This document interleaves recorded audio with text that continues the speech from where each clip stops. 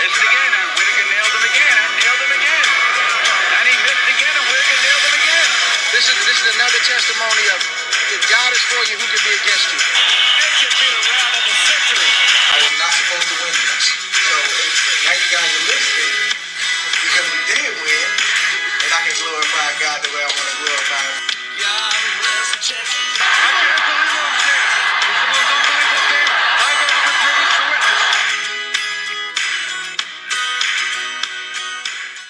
Welcome, welcome, welcome to another episode of the Boxing Bookie. We're going to show you how to bring down the house today. We're going to show you uh, how to make money on Luis Alberto Lopez um, versus um, Joet Gonzalez. Um, this is a, this is fixing to be a really good fight. Um, and DraftKings took their odds down on the fight. You can still get them, but for some reason you can't place a bet on it. I'm not sure what happened. Um, I'm gonna I'm gonna share this with you right right quick, right? Uh, because it's a little bit different than what we usually do. Um,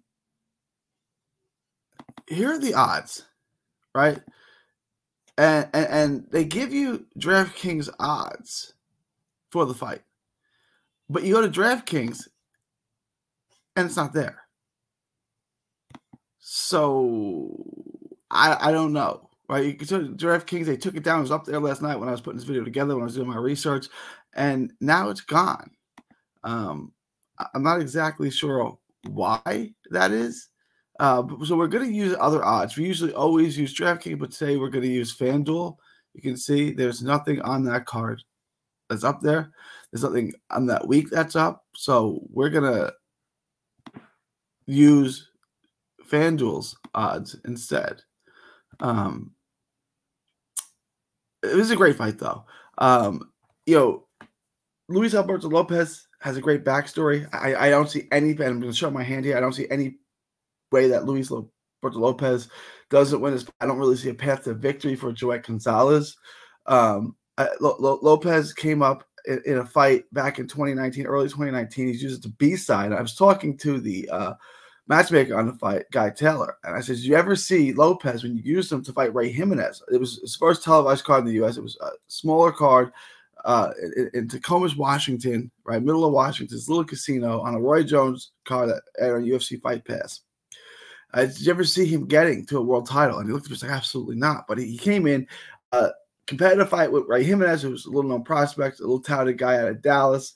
Uh, didn't really work out.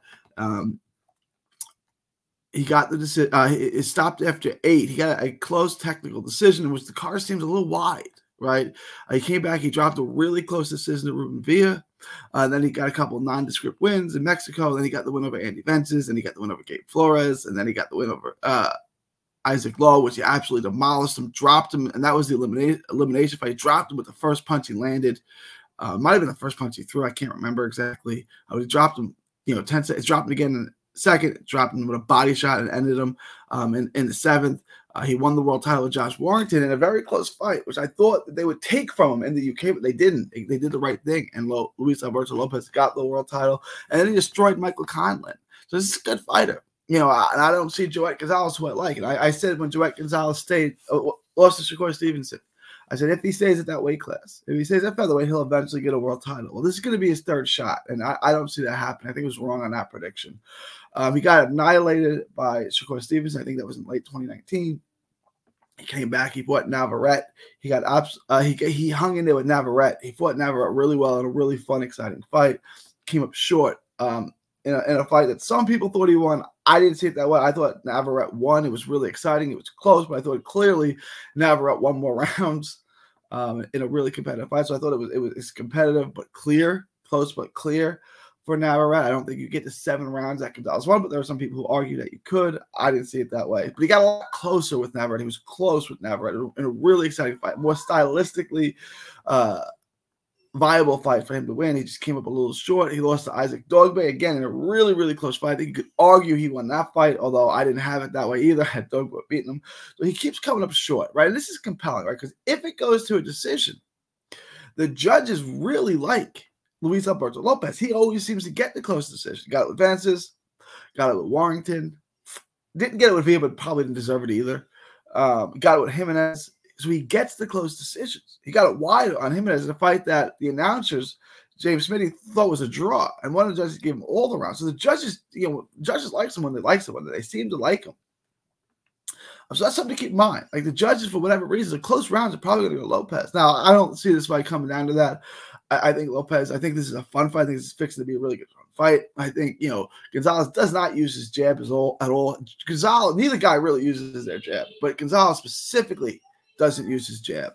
Uh, he really doesn't. He'd make his life so much easier if he set things up off the jab. He just doesn't do it. You know, now he's uh, pushing 30, I guess. I don't know how old he is, but he's really at the end, and uh, he's got the reach advantage. He's not going to use it. He's not going to use. You know, if they box from the outside, neither guy uses a jab, so the fight's not going to go that way. But if they did, I still think Lopez was because Lopez will throw the jab from weird angles. Everything Lopez does is unconventional. It's awkward. He throws punches from weird angles, right? But he's, he's he, he kind of reminds me a little bit of Carl Froch, right? Where like he's subtly good. Like like like he would. These aren't textbook things that he's doing um, but there's a little subtleness to what he does. Right? There's a little subtleness to his skills, his footwork, his angles. Like there's there's something to it, right? And even though he doesn't look, you know, perfect, um, there's something to it, right? He keeps his hands low, which I don't like, and he fires, but it allows him to fire shots from a variety of angles. Uh, so I don't see a path to victory for Joet Gonzalez. So I'm going to show you how to place this bet according to FanDuel. Let me get that pull up for you again. Remember, we usually always, always use uh, DraftKings, but they took their odds down, so we're going to be using uh, FanDuel, uh, and, and, that's good because FanDuel offers you a lot of props. I'm, I'm going to show you how to bet this. Uh, the best way you can make money. It's not a whole lot of ways to make money on this, um, but a, a, a $100 bet on Lopez is paying minus 900. Now you might want to double or triple up this bet. You may not, um, but that was only going to make you $11.11. However, if you look at what we're saying Lopez to win by decision makes you uh, it, it's placed plus 100, which in America we call that even, right? So it's going to make you even money. So a two hundred dollar bet, 100 on, on Lopez to win and 100 dollars to win by decision is going to make you 111 dollars and 11 cents. Again, it's not a, a, great way to make money. Uh, but you know, looking at, at, at, Gonzalez as a warrior, Gonzalez has not been stopped by Navarrete. He hasn't been stopped by Dogboe. Um, and Lopez, you know, he, he knocked out Lowe and he knocked out Conlan. Um, but those guys couldn't really hit. Um, and, and, I don't think those guys are as good as Gonzalez. If you look at his other fights, Gabe Flores destroyed him, didn't stop him. He didn't stop Vences, right? So uh, he didn't stop Ray Jimenez. So he didn't stop those guys. So it's not like he's a, he's a, he's a, he's a, he's a powerhouse. He's strong as an ox, Lopez is, right? But he's not, he doesn't stop everyone. So I really think a guy as rugged and determined as Joet Gonzalez, who's in his absolute last chance likely to win a world title, is gonna is gonna go this, he's gonna get to the end of this fight. So I really like those odds. Um, the odds on, on Lopez again, you know, it, it's basically nine to one. You know, he, you know, he's a nine to one favorite. It's basically what that's telling me. It is what it is. He deserves to be the favorite. Those are really wide odds. I don't love those odds, but he's gonna win the fight. So I'm not gonna tell you to bet on Gonzalez when I don't even see a path to victory for Gonzalez. It might be different if Gonzalez had a had a real path, um, but he doesn't. He can't outbox from the outside. He doesn't use his jab. He's not as physically strong He's not a big hitter as Lopez, and Lopez is, and he's so easy to hit. You know, he comes in with a high guard, but he can, you can split it. You know, he leaves a gap, and you can really split it with the uppercut. Lopez has a really good uppercut.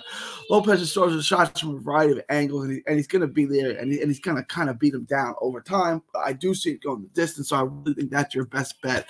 Let me know what you guys think. That's how I got Lopez uh, by decision, which will pay you on on, on a on a bet a $100 bet on Lopez to win and a $100 bet on Lopez to win by decision will make you $111. So you walk away with 311. All right, it's not terrible uh, on a fight that I, I think is is pretty easy to predict Lopez by decision.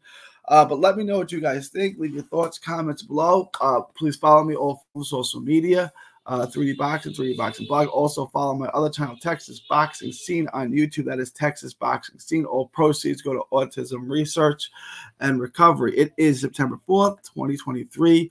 From Texas to the world, thank you and God bless. Don't miss a tweet, post, story, or video. 3D Boxing is on Twitter, Instagram, and Facebook. Hit the subscribe button now to stay inside the ring.